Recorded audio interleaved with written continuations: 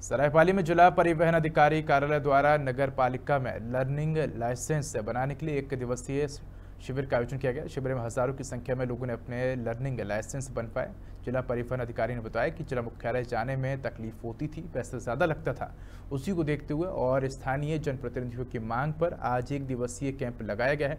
सभी को हाथों हाथ आज लर्निंग लाइसेंस बनाकर दिए जा रहे हैं। का मकसद ये है कि लोग अधिक से अधिक जो है यहाँ पहुँच कर जो है लर्निंग लाइफ लेना है इसीलिए इस क्षेत्र सरायपट्टी में है। आज शिविर का ये जो है आयोजन है।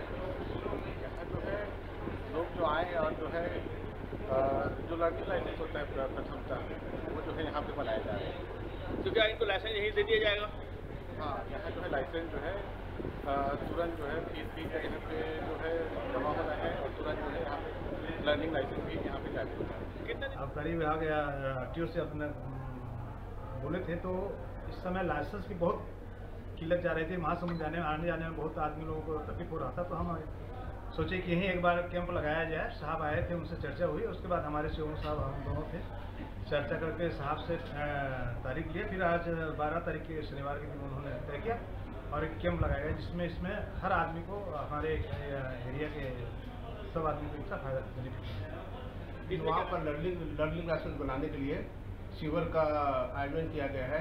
अपनी नगर पालिका के अध्यक्ष महोदय द्वारा परिवहन अधिकारी से संपर्क किया गया, उनको बुलाया गया और उनको कहा गया कि शिविर का आयोजन यहाँ किया जाए ताकि वहाँ पर लर्निंग लाइसेंस बनाया जा सके।